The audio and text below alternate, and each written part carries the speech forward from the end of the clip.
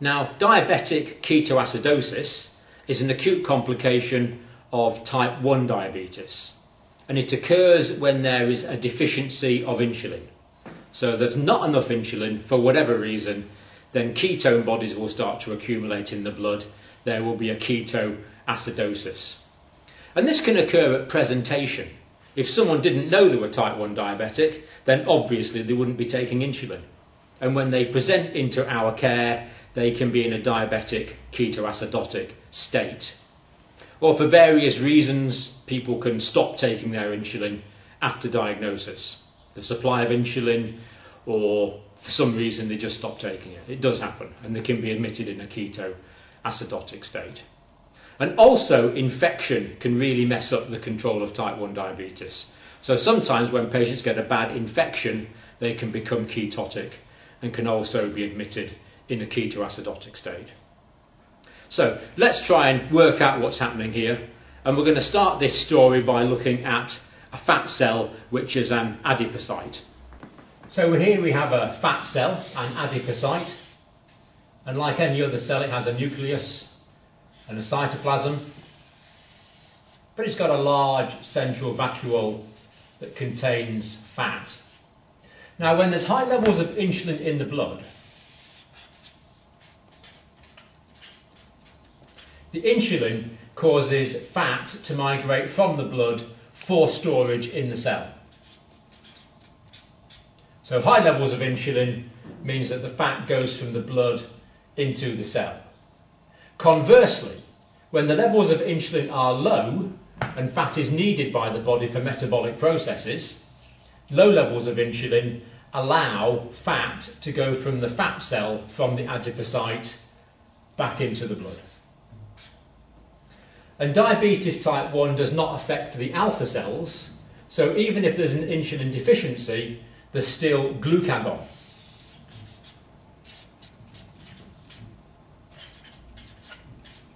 Glucagon. And glucagon will also cause fat to go from the fat cell into the blood. So the lack of insulin and the normal amounts of glucagon mean that you get quite a lot of free fatty acids going into the blood.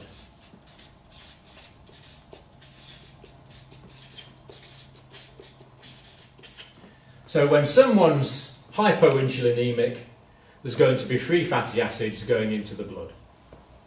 And these free fatty acids circulate around to the liver. And in the liver, the free fatty acids are converted to ketones. So the more free fatty acids there are in the blood, the more ketones the liver will produce. And the liver will excrete these ketones into the blood. So as a result of the low levels of insulin, we have more free fatty acids. The liver converts these free fatty acids into ketones, and this means we have more ketones in the blood. We have a ketonemia.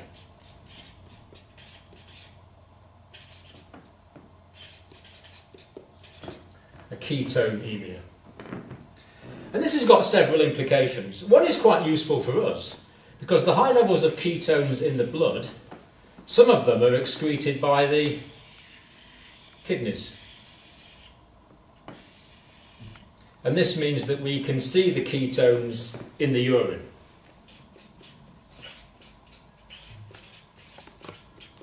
There's a ketonuria, and we can test for this with our dipsticks. So there's a ketonuria because there's high levels of ketones in the blood and the kidney will excrete these. And it's the high levels of ketones that also give the patient the characteristic smell to their breath, caused by the high levels of acetone, which remember is the volatile ketone body. But of course, remember the ketones, two of the ketones are acids. So you get high levels of ketones in the blood the acetoacetic acid and the beta hydroxybutyric acid in the blood means that we get high levels of acid. There's an acidosis. Now, you might think that this whole thing is a bit bizarre. Why would the body generate an acidosis? Well, the reason is that the ketone bodies are actually quite useful because ketone bodies can actually be used by normal body cells to produce energy. And unlike glucose, the ketone bodies can migrate freely into the cells where the mitochondria can use them to produce energy.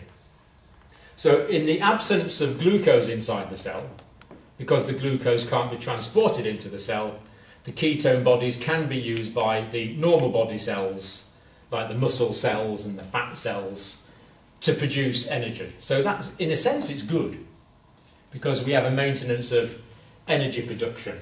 But the cells can only use the ketones slowly. So the ketone bodies in the blood accumulate. We get this ketonemia because the liver is producing them much more quickly than the peripheral cells can use them. So it is good. It's good because we can check for the ketonuria, but the patient has this smell on their breath from the acetone, and also the patient develops acidosis. And obviously, acidosis is a dangerous condition. Now, what does the acidosis do? Well, the acidosis is detected by the respiratory centre in the medulla oblongata and leads to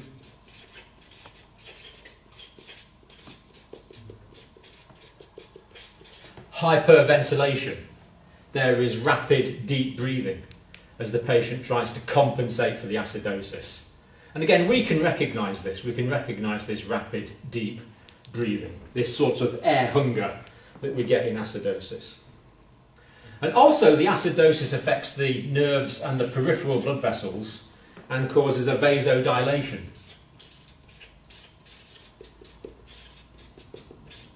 So there's a peripheral vasodilation. And these patients, because they're vasodilated for a period of time, tend to lose heat and they become hypothermic.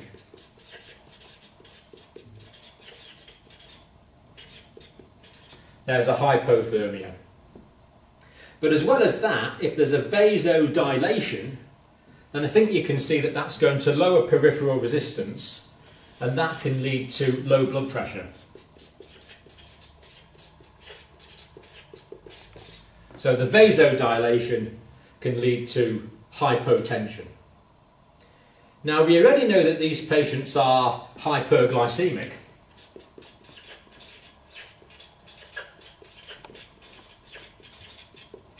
They're hyperglycemic, obviously, because they're lacking insulin.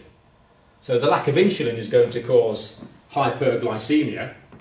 And as we've already seen, hyperglycemia can lead to an osmotic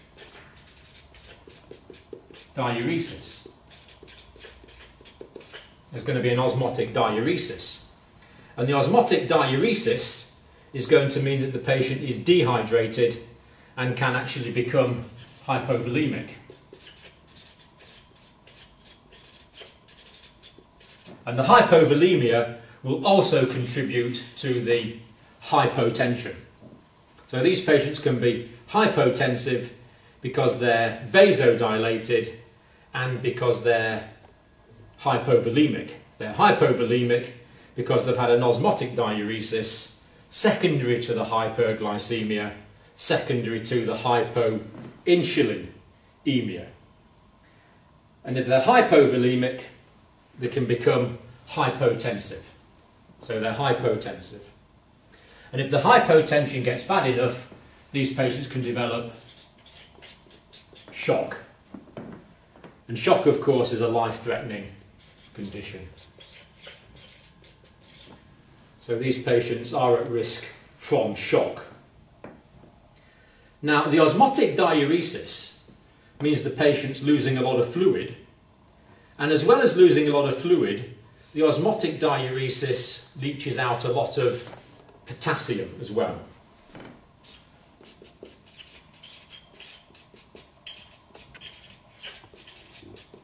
So these patients can become hypokalemic.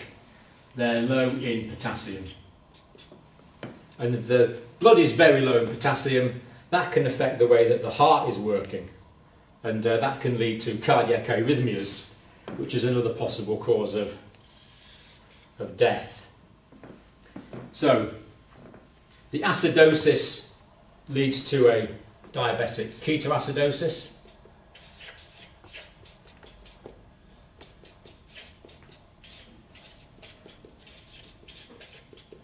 There's a diabetic ketoacidosis, and the acidosis is going to affect the way that all of the enzymes in the body work, particularly the enzymes in the brain, and this is also life threatening. So the acidosis is life threatening because of the direct effect of the acid threatening the patient, because of the shock threatening the patient, and because of the hypokalemia also threatening the patient. So, what are we going to do about it? What are we going to do for these patients? Well, we need to monitor their fluid and electrolytes. If they're hypokalemic, we need to monitor their fluid and electrolytes and give them some potassium. As always with potassium, we monitor the electrolytes very carefully and we give it cautiously because we don't want rapid changes in the amount of potassium in the blood. Now, if the patient's hyperglycemic, can you think of any ways we could treat hyperglycemia? Well, of course, we're going to give them insulin. So these patients are going to need insulin. Because they're hypothermic, we can keep them warm. Can monitor their body temperature.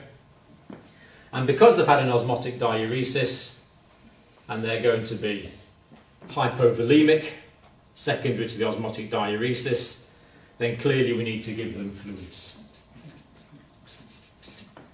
So the mainstay of treatment is to keep these patients warm. It's to give them fluids. It's to give them insulin. It's to check and titrate potassium replacement. And if they've got an infection, we can give them some antibiotics.